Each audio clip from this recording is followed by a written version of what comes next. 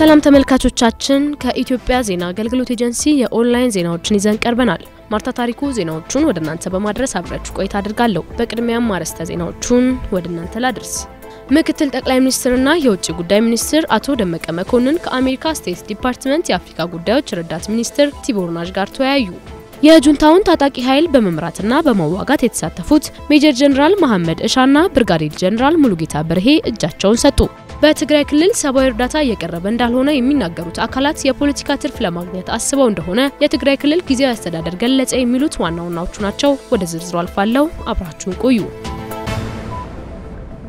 ምክትል ጠቅላይ ሚኒስትርና የውጭ ጉዳይ ሚኒስትር አቶ ደመቀ መኮንን ከአሜሪካ State Department የአፍሪካ ጉዳዮች ረዳት ሚኒስትር ቲቦር ናዥ ጋር ተወያዩ። በነበራቸው የስልክ ውይይት ምክትል ጠቅላይ ሚኒስትርና የውጭ ጉዳይ ሚኒስትር አቶ ደመቀ መኮንን በተለይም በትግራይ ክልል ስለተካሄደው ውጤታማ የሕግ ማስከበር ዘመቻ፣ በክልሉ ለህብረተሰቡ ስለሚደረገው ድጋፍና የፈረሱ መሰረተ ልማቶች መልሶ ለመጠገን እየተደረገ ስላለው ጥረት አብራርተዋል።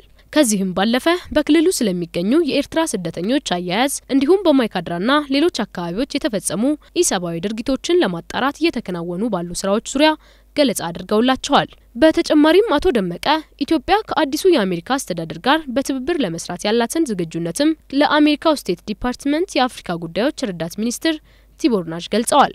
የአሜሪካ State Department የአፍሪካ ጉዳዮች ረዳት ሚኒስትር ቲቦር ናዥ በበኩላቸው ኢትዮጵያ በሰሜኑ የሀገሪቱ ክፍል የተፈጠረውን ጥረት አድንቀዋል። ይህ ኢትዮጵያ ያሳካቸው ስኬት የአሜሪካም ስኬት ነው ሲሉ ቲቦር ናዥ መግለጻቸውን ከውጭ ጉዳይ ሚኒስቴር ያገኘነው መረጃ ያመለክታል።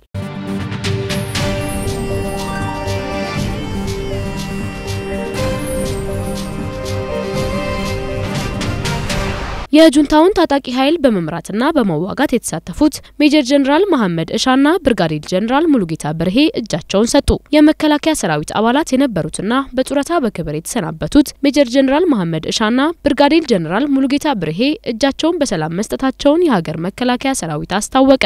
የመከላከያ indoctrination ዋና ዲሬክተር ሜጀር ጀኔራል መሐመድ ተሰማ ለኢዜአ እንደገለጹት እጃቸውን የሰጡት ከፍተኛ የጦር መኮንኖች የጁንታውን ታጣቂ ኃይል በመምራትና በመዋጋት ላይ የነበሩ ናቸው። እነዚህ እጃቸውን የሰጡ ጃል መኮንኖች አንዱ ሜጀር ጃ መሐመድ ኢሻ ቀደም ብሎ የምዕራብ እዝ ምክትል አዛዥ ለኦፕሬሽን የነበረ በኋላ ላይ በዘመቻ ዘመቻ ዋና መምሪያ ኃላፊ ሆኖ ሲሰራ የነበረና የጡረታ ጊዜው ደርሶ በክብር በጡረታ ወጥቶ ግን ደግሞ ከዛ ኃይል ጋር ተቀናጅቶ ሲመራና ሲያዋጋ የነበረ መቀሌ ሲያዝም አብሮ ጫካ ድረስ ገብቶ ከጫካ አሁን በተደረገው የአሰሳና የስምሪት ስራ በሰላማዊ መንገድ እጁን ለሰራዊታችን የሰጠ ነው።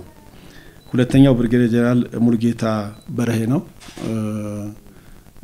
መኮንኑ በምስራቅ እዝ የእዝ ኮማንድ ሆኖ ሲሰራ የነበረና እሱም ቀደም ብሎ በጡረታ ወጥቶ በሰላማዊ መንገድ ሲኖር የነበረ በአዲስ አበባ አካባቢ በኋላ ላይ ከጁንታው ጋር መቀሌ ሄዶ ተቀላቅሎ አመራር ሲሰጥ የነበረና እስከ መጨረሻው ድረስ በዛ ውጊያ ላይ ተሳታፊ የነበረ አሁን በመጨረሻ ለሰራዊታችን እጁን የሰጠ ነው። መኮንኖቹ በጡረታ ከተገለሉ በኋላ ጁንታውን በመቀላቀል የጦርነት ዝግጅት ሲያደርጉ እንደነበር ለማወቅ ተችሏል። የሀገር መከላከያ ሰራዊት ሰሜን እዝ ላይ የህወሓት ጁንታ ጥቃት በፈጸመበት ወቅትም ዋና አስተባባሪ የነበሩ ናቸው።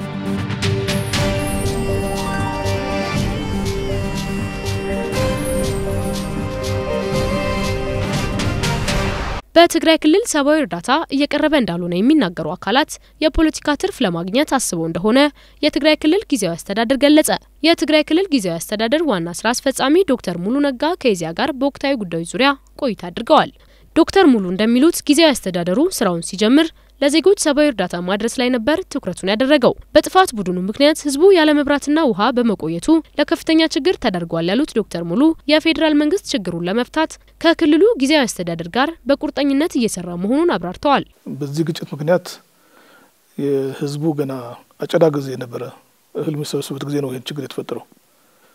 የችግር የፈጠረው ኃይል ምን ያህል ለህዝቡ ደንታ እንደሌለው ነው የሚያሳየውና በዚህ ሁኔታ ነው ህዝቡ ያለ መብራት ያለ ውሃ ነው የቆየውና ይሄ እንኳን ለአንድ ወር ከዛ በላይ መቆየት ለአንድ ቀን ሁለት ከባድ ነው። ችግሩ ከባድ እንደሚሆን ይታወቃል። ነገር ግን አሁን እንዳልኩት ጊዜያዊ አስተዳደሩ የሚሆን ፌዴራል መንግስት ችግሩን ተገንዝበዋል። ለችግሩ መፍትሄ ለመስጠት ምንም ወደ ኋላ ያለበት ጊዜ የለም። የሆን ተብሎ የተደረገ ነገር አለም። ይሄ ሁኔታውን የፈጠረው ነው። ስለዚህ ይህን ግን በዚህ መሀል በረሀብ በተለይ ራቅ ራቅ ያሉ አካባቢዎች የጸጥታ ችግር ያለባቸው አካባቢዎች ያው ይከሰታል። ነገር ግን ይሄ ማለት ፌዴራል መንግስት ቁጭ ብሎ እያየ አይደለም። ጊዜያዊ አስተዳደሩም ይሄ ነው ያስራለሁ አንዱ ቅድሚያ ሰጥቶ እየሰራው ለስራዬ ነው። ስለዚህ ከችግሩ ስፋትና ጥልቀት አኳያ የሚታዩ ክፍተቶች ቢኖሩም እነዚህ ለመሙላት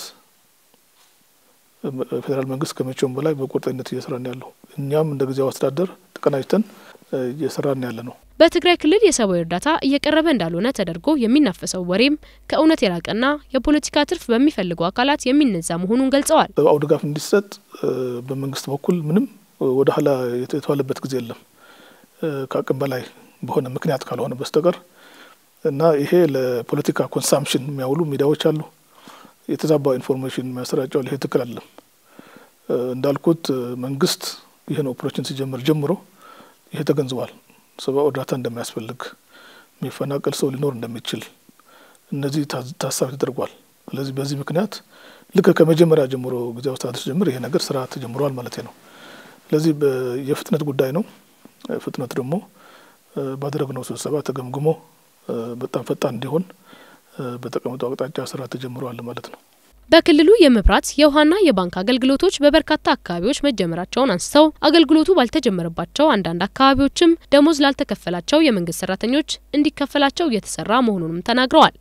ትልቁ ጥያቄ ሁለት ወር ምናምን ያደረጉ የመንግስት ሰራተኞች ደሞዝ ያልተከፈላቸው አሉ። በተለይ እነዚህ ባንክ በሌላቸው አካባቢዎች በመቀሌ በተቻለ ፍጥነት ባንክ ጀምሮ ስራ ተጀምሯል። ነገር ግን ይሄ ወደ ሌሎች ዞኖች መሄድ አለበት እና ይሄ ለመፍታት የተቀመጠ አቅጣጫ አለ። ባንክ ባይጀምርም ፌዴራል መንግስት ባደረገው ውሳኔ የባንክ አሰራሩን በማሻሻል በጥሬ ገንዘብ ወጥቶ እነዚህ ባንክ የሌላቸው አካባቢዎች ሂዶ ደሞዝ ለመክፈል ስራ እየሰራ ነው ያለው። የትግራይ ክልልን መልሶ በመገንባት ሂደት ሁሉም ኢትዮጵያውያን የበኩላቸውን አስተዋጽኦ እንዲያደርጉም ዶክተር ሙሉ ጥሪያቸውን አቅርበዋል። ዘገባው የኃይለ ኢየሱስ ተፈራ ነው።